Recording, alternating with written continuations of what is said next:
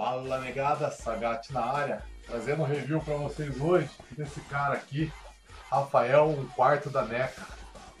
E antes de começar esse review, vou indicar um canal para vocês, é o canal do amigo William, é, colecionáveis Tartarugas Ninjas. E o cara é fãzaço das tartarugas e para quem deseja comprar ele vende muita figura, principalmente as vintage. Vintage ele entende bastante das linhas, o que for. Então vai estar vai tá embaixo na descrição, quem tiver interesse, dá uma olhada aí no canal do grande William, se inscreva, dá uma força para ele aí. E vamos embora pro review.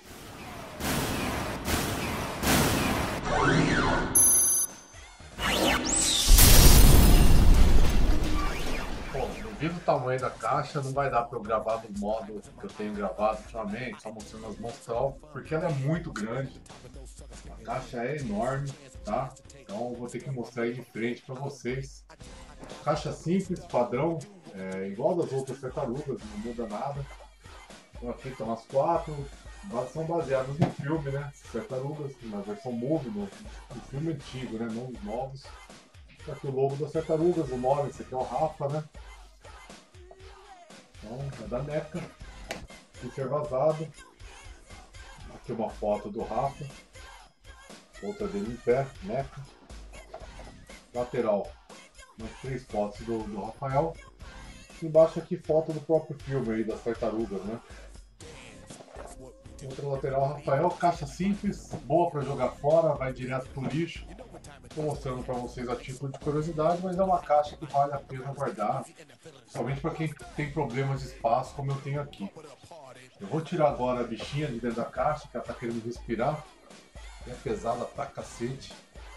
Você vê que é um material maciço, né? Bem pesada. Então eu vou tirar e vou mostrar a tartaruga para vocês aí. São os acessórios aí que vem com o Rafa.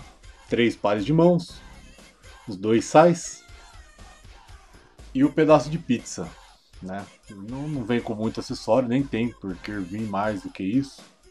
Então aí tá o geral do que vem com ele na caixa.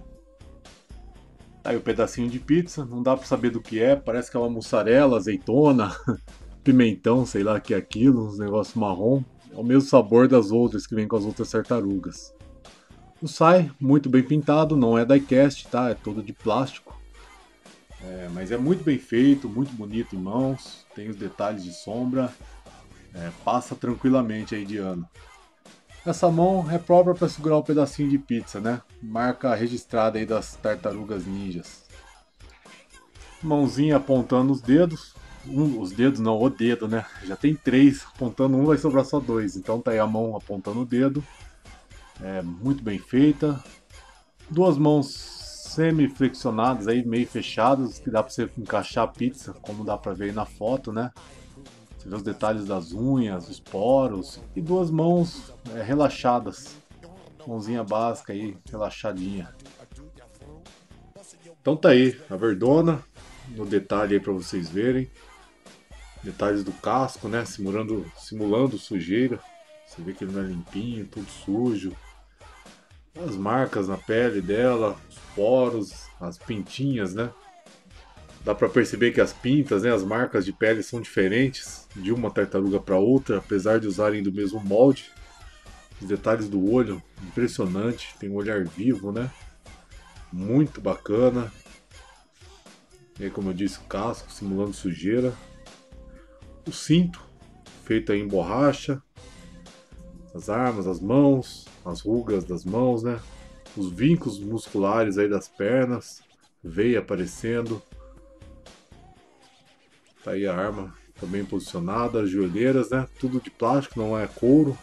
É um plástico simulando o couro aí, né? Pintura boa, detalhe dos pés, as unhas pintadas, coloração diferente.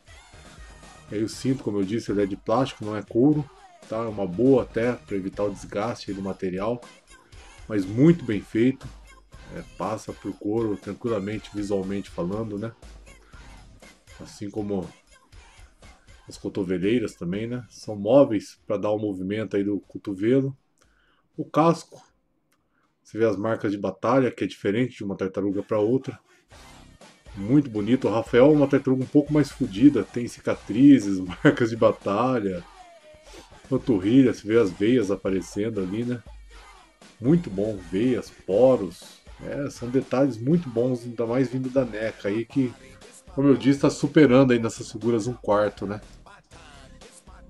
Aí os detalhes da faixa, faixa de tecido, né? A parte de trás e a parte que envolve a cabeça é de plástico esculpido aí na própria cabeça. Você vê o acabamento entre o casco e a pele da tartaruga, muito bom. Ele tem um movimento, ó, e não aparece buraco nenhum, muito bacana. Tá aí o rosto, como eu disse, é, o Rafael mais ferrado, tem uma cicatriz na bochecha, né? Uma marca de batalha aí, bichinho esquentado. E vamos dar uma olhada aí agora nas articulações do bichinho. Bom, articulações básicas na cabeça, olha um pouco para cima, um pouco para baixo, são bem rígidas as articulações dela, tá? Ele vira para o lado, tem um sisteminha de catraquinha dentro do, pescoço. Os braços também, 90 graus, sistema de catraca, bem duros, por sinal. Ele gira em torno do ombro, normalmente, ó. Você tem que forçar porque é bem duro mesmo. Flexiona o cotovelo, que pede um pouco a flexão é a cotoveleira dela, mas se forçar ele vai um pouco mais, tá? Então ele flexiona aqui, é, a cotoveleira dá uma segurada, mas dá para descer ela um pouquinho, o plástico um pouco mais flexível. Ele gira os punhos, e tem uma pequena flexão de punho, tá vendo aí?